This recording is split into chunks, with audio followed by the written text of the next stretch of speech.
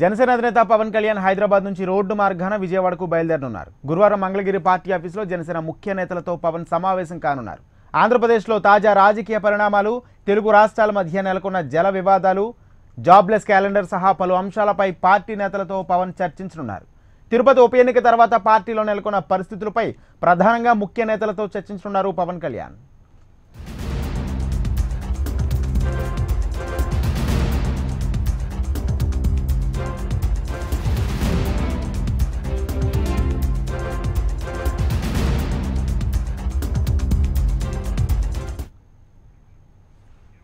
ఇదే అంశానికి సంబంధించి మరింత సమాచారం అందించడానికి మా ప్రతినిధి లిఖిత లైవ్లో సిద్ధంగా ఉన్నారు. లిఖిత చెప్పండి. మొత్తంగా జనసేన ముఖ్య నేతలతో పవన్ సమావేశం కానున్న నేపథ్యంలో ఏర్పాట్లు ఏ విధంగా ఉన్నాయి?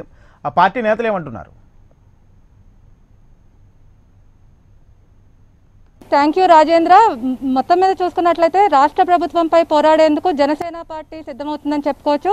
ఇప్పటికే రా హైదరాబాద్ నుంచి సాయంత్రం ఐదు గంటలకు జనసేన అధినేత పవన్ కళ్యాణ్ కూడా దేంటి విజయవాడ రానున్నారు. రాత్రి ఇక్కడ బస చేసి రేపు జరిగే పార్టీ కార్యాలయంలో ముఖ్య నేతలతో కూడా ముఖ్య నేతలతో కూడా భేటీ కానున్నారు. ఇదే విధంగా ముఖ్యమంత్రి జగన్మోహన్ రెడ్డి విడుదల చేసిన జాబ్ క్యాలెండర్పై ప్రధానంగా చర్చించనున్నారు. అదేవిధంగా పార్టీ కార్యకర్తలు ఎవరైతే ఉన్నారో చనిపోయిన వాళ్ళతో కూడా శ్రద్ధాంజలి ఘటించి శ్రద్ధాంజలి ఘటించిన తర్వాత పార్టీ ముఖ్య నేతలతో సమావేశం కానున్నారు.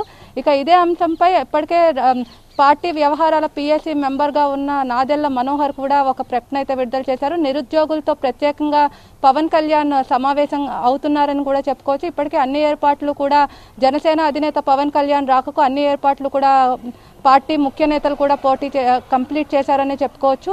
ఏది ఏమైనప్పటికీ రాష్ట్రంలో జరుగుతున్న తాజా రాజకీయ పరిస్థితులు అదేవిధంగా తిరుపతి ఉప ఎన్నికల తర్వాత జనసేన అధినేత పవన్ కళ్యాణ్ విజయవాడ రావటం ప్రాధాన్యత సంతరించుకోవచ్చు అని చెప్పుకోవచ్చు మొత్తం మీద చూసుకున్నట్లయితే రాష్ట్ర ప్రభుత్వంపై పోరాడేందుకు ఖచ్చితంగా జనసేన అధినేత ఒక స్టాండ్ తీసుకొని నిరుద్యోగులకు అండగా ఉంటాము అదేవిధంగా అమరావతిలో రాజధాని భూములు ప్రణాళికలు ఇప్పటికే సిద్ధం చేస్తున్నారు వైజాగ్ ట్రాన్స్ఫర్ అవుతుందని దాన్ని ఆపేందుకు కూడా పవన్ కళ్యాణ్ ఒక ప్రణాళిక కూడా సిద్ధం చేసుకున్నట్లు మనకు తెలుస్తుంది అదేవిధంగా నిరుద్యోగులకు అండగా పవన్ కళ్యాణ్ ఉంటారు అదేవిధంగా మొత్తం మీద రాజకీయ పరిస్థితిలో రైతులతో. సమావేశం అదేవిధంగా ప్రతి ఒక్క పదమూడు నియోజకవర్గాల్లో ఉన్న పార్టీ ముఖ్య నేతలతో కూడా. పవన్ సమావేశం అవుతున్నారని సమావేశం అవుతారని కూడా తెలుసు Rajendra. Right thank you Likhita